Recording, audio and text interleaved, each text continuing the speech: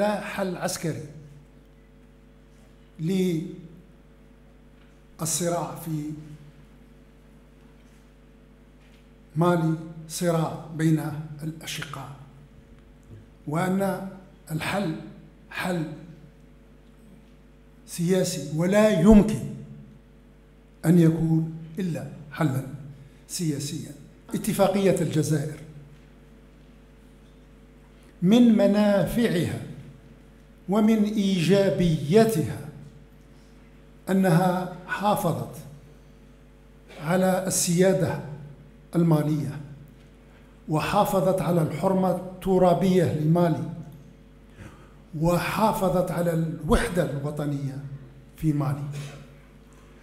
وأن الاستغناء عن هذه الاتفاقية سيضر بكل هذه المكتسبات.